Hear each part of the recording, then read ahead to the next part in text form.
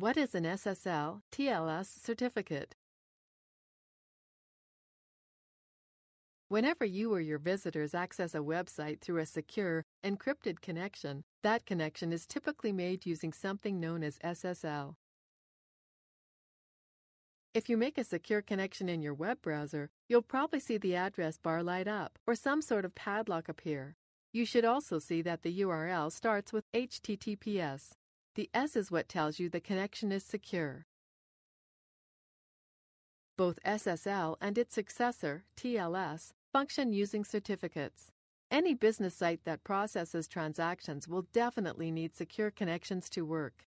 If this is the case for you, then you need an SSL TLS certificate.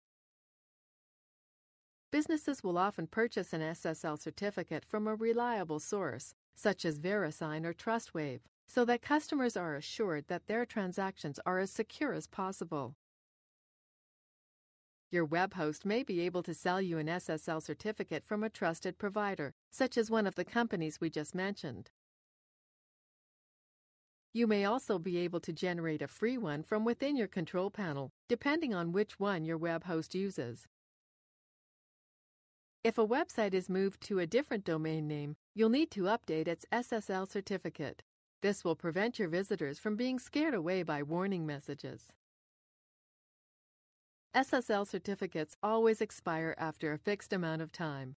Your visitors will also receive a warning when this happens, so you should try to remember to renew your certificates before they expire.